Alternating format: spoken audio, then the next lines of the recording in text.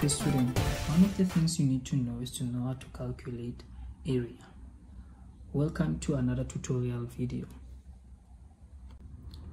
In this video, we will cover area. Ensure that you have watched my previous video on how to calculate distance in order for you to follow through on what we're about to cover. So how do we calculate area using our maps in geography? It is similar to calculating area on mathematics. We use the same formula which is area equals to length times breadth. So I will be using the map of Roodepoort to calculate our area. So note that the scale is 1 is to 50,000 over there. As you see, typical exam question will be calculate the area of a demarcated area on a topographic map of an orthophoto map. So the question will be to calculate the area of this orange area that you see, that you see over over there. So let's let's work it out. The first thing you need to do is to take your ruler and measure the length and breadth of this required area. So I'm gonna put my ruler over there and try to measure my firstly my length, right? So as I measure there, I get nine centimeters for my length, right? And then for my breadth, I get something like seven centi 7 centimeters. From here we can work everything out. Now remember the formula for area is area equals to length times breadth, right? So in short, we can say A equals to L times B. Now for the measurement we got, it was 9 centimeters. But that every distance that you measured on the map, you need to times it or to convert it by timing it using your using your scale. So this is nine this will be nine times 50,000 which is the scale for your length times our breadth was 7 centimeters and I will multiply that with 50 50,000 when we are at the step, we need to go back to the question to determine whether our area should be in kilometers or in areas. For So for interest sake, let's say we were required to calculate our area in, in kilometers.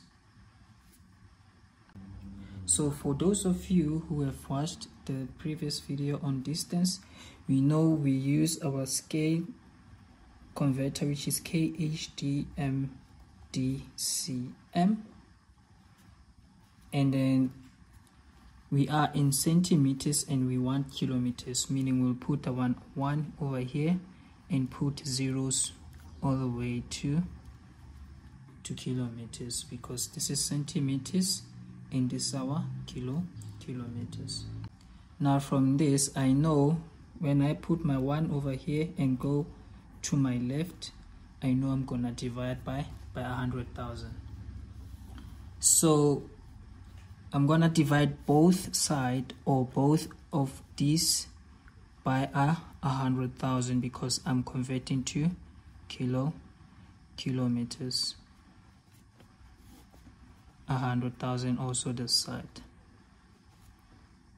So this is to remember that I'm converting from centimeters to to kilometers right? So that will cancel that. 0 will cancel 0 and this side this will cancel that. 0 will cancel 0 so from here I can do my calculations on my math this will be 9 5 divided by 10 will be equals to 0 comma 5 and this side 7 times 5 divided by 10 will be 0 comma 5 so basically I just took my 50,000 centimeters divided it by 100,000 because I'm converting this 50,000 centimeters to to kilometers right? So if I divide 50,000 by 100 uh, 100,000 this is 0, 0, 0.5 kilometers and also the side. So basic mathematics if I punch this my calculator 9 times 0, 0.5 will give me 4,5 times 7 times 0, 0.5 0, 0.5 this will give me 3, 3,5 now as I times the 2 3,5 or 4,5 times uh, 3.5 this will give me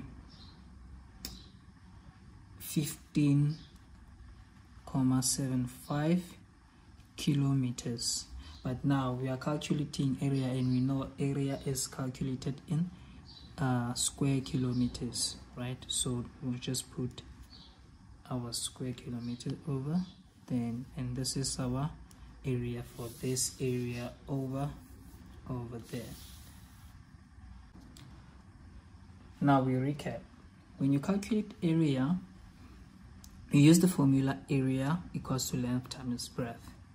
And in this case our length was 9 centimeters and our breadth was 7 7 centimeters.